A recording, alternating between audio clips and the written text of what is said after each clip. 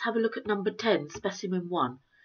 Variables A, B, and C are assigned values. A equals bitmap, B equals pixel, C equals bit. Note that they are, they are all strings. Shade 1 lozenge, which shows the concatenation of the variables A and B shown in figure 8. Concatenation means the joining together of strings. Concatenation means the joining together of strings. So it's a plus operator, concatenation. A plus B is A is bitmap plus pixel, bitmap pixel, which is B. Now let's look at the next one. Strings can also be represented as arrays of characters.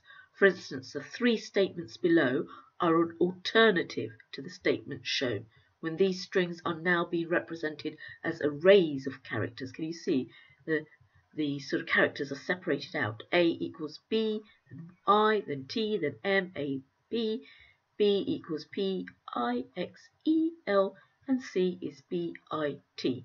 A1 is, you always start from indexing array from 1 in a exam question. So let's see how that works out shade two lozenges which correspond to the two true statements about these arrays. So two of these five statements are true. Now, we can cheat here a bit.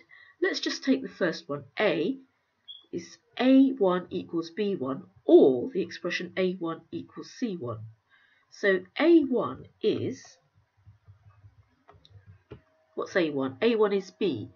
See, A1 is B there. A2 would be I.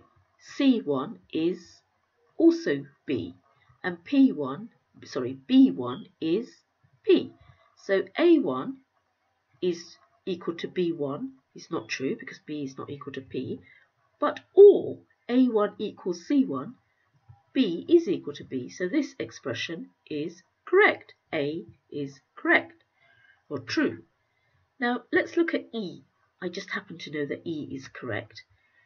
A, okay, length of A is 6, length of C is 3, so 6 minus 3 is 3, so it's A3 equals C3. Now A3 is T and C3 is T. Remember, index 1, index 2, index 3. Index 1, index 2, index 3, index 4, index 5, index 6. So A3 is 6, T C3 is T. So therefore E is true. So I've just randomly kind of picked two statements and they happen to be true.